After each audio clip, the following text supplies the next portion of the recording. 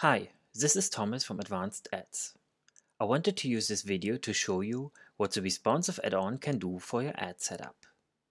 The responsive add-on allows you to specify how large a device or browser window must be in order to display an ad. For example, this leaderboard you see here perfectly fits a desktop device. But if the screen or the device gets smaller, it might cause an irritating scrolling error. Using the responsive add-on would allow you to display a smaller size, like a full banner instead. And if the screen gets even smaller, like a smartphone, you could set up a medium rectangle to show. Or you could even disable this ad position completely.